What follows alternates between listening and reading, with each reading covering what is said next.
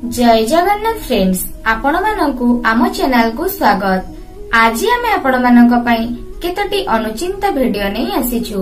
ତ ଆଉ ଡେରି ନ କରି ଚାଲନ୍ତୁ ଆଜିର ଅନୁଚିନ୍ତା ଭିଡିଓକୁ ଆରମ୍ଭ କରିବା। ଏହା ପୂର୍ବରୁ କହିନିଏ ଯଦି ଏ ପର୍ଯ୍ୟନ୍ତ ଆପଣମାନେ ଆମ ଚ୍ୟାନେଲକୁ ସବସ୍କ୍ରାଇବ କରିନାହାନ୍ତି ତ ଏବେ ସବସ୍କ୍ରାଇବ କରିନେବା ସହ ପାଖରେ ଆସୁଥିବା ବେଲ୍ ଆଇକନକୁ ବି କ୍ଲିକ୍ କରିଦିଅନ୍ତୁ। ଏହା ଦ୍ୱାରା ଆମେ ଅପଲୋଡ କରୁଥିବା ପ୍ରତିଟି ଭିଡିଓର ନୋଟିଫିକେସନ ଯାଇ ଆପଣମାନଙ୍କ ପାଖରେ ସର୍ବପ୍ରଥମେ ପହଞ୍ଚିଯିବ।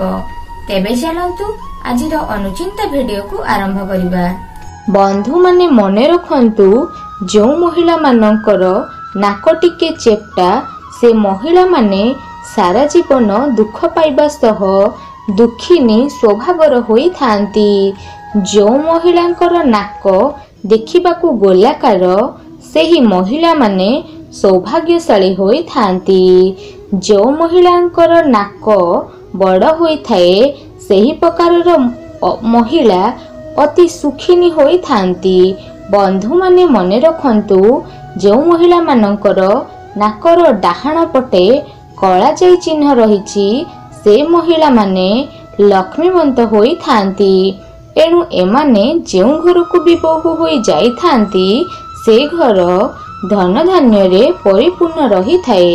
ମନେ ରଖନ୍ତୁ ଯେଉଁ ମହିଳାଙ୍କର ନାକ ଲମ୍ବା ସେ ମହିଳାମାନେ ସର୍ବଦା ସ୍ୱାମୀ ସୁଖରୁ ବଞ୍ଚିତ ହୋଇ ରହିଥାନ୍ତି।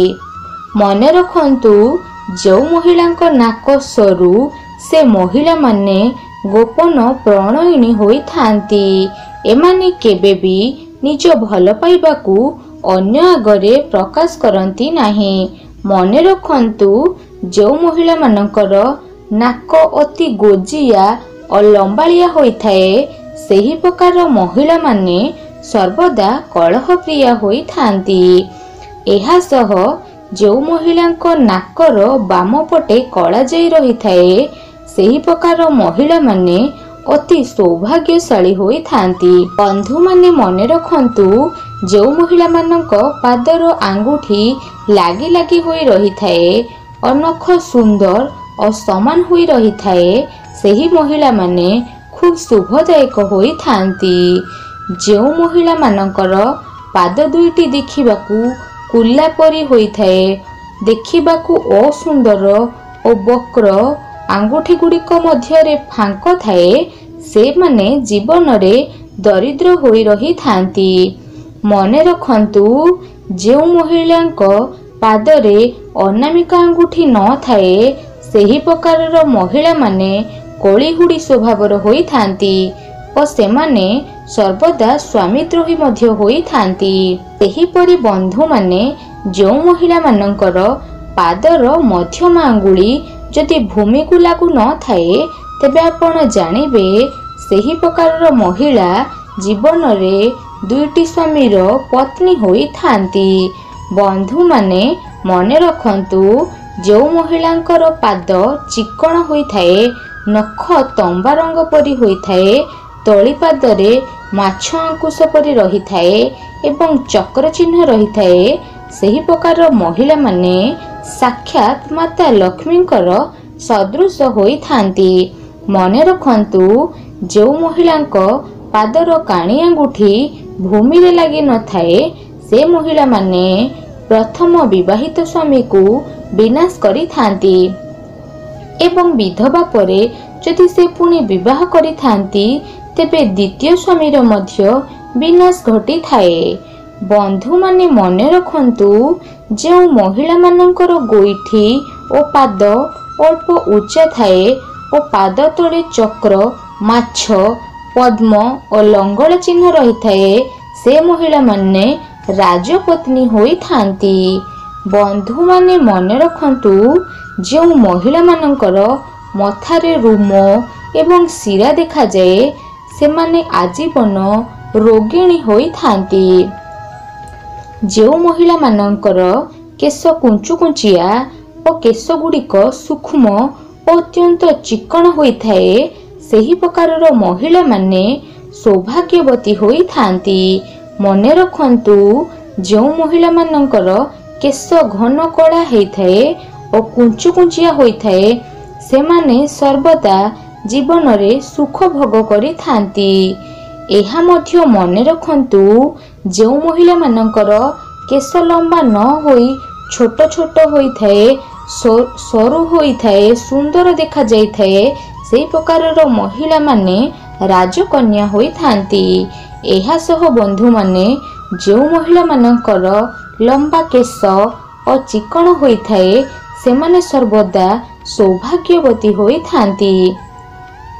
ବନ୍ଧୁମାନେ ମନେ ରଖନ୍ତୁ ଯେଉଁ ମହିଳାମାନେ ପ୍ରତି କଥାରେ ହୋ ହୋ ହୋଇ ହସିଥାନ୍ତି ସେହି ପ୍ରକାରର ମହିଳାମାନଙ୍କର ଚରିତ୍ର ଭଲ ନଥାଏ।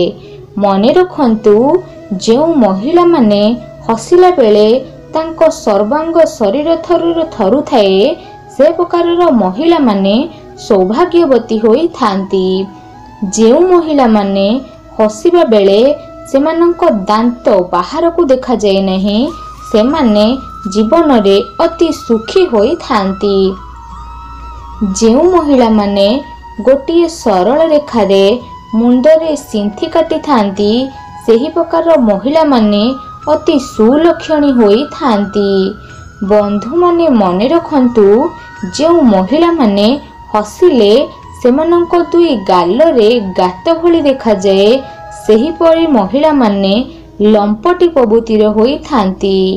ଯେଉଁ ମହିଳାମାନେ ଅନ୍ୟମାନଙ୍କୁ କଣେଇ କଣେଇ ଅନାଇ ମୁରୁକି ମୁରୁକି ହସ ଦେଇଥାନ୍ତି ସେହି ମହିଳାମାନେ ଅନ୍ୟ ପୁରୁଷଙ୍କ ପ୍ରତି ମନରେ ଆକୃଷ୍ଟ ଭାବ ରଖିଥାନ୍ତି।